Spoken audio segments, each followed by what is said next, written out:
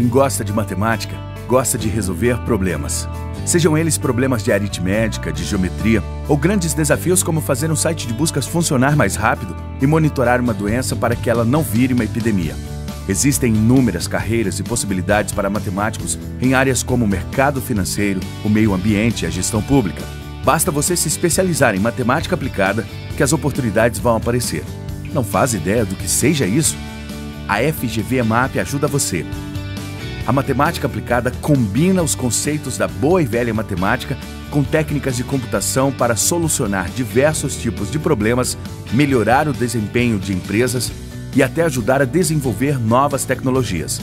A matemática aplicada é tão rica que pode criar novos algoritmos de buscas na internet, detectar precocemente uma epidemia de dengue, prever resultados de jogos de futebol e muito mais. Afinal, hoje em dia, os dados digitais se multiplicam em tempo recorde e os desafios crescem junto com eles. Não é à toa que a importância da matemática aplicada também ficou maior.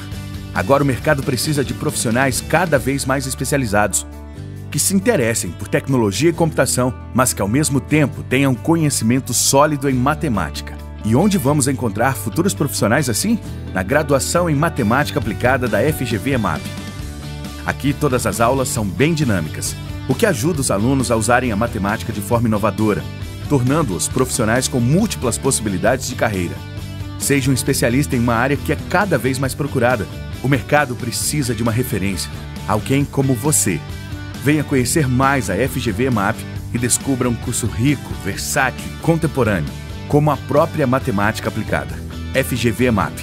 O que é FGV é referência.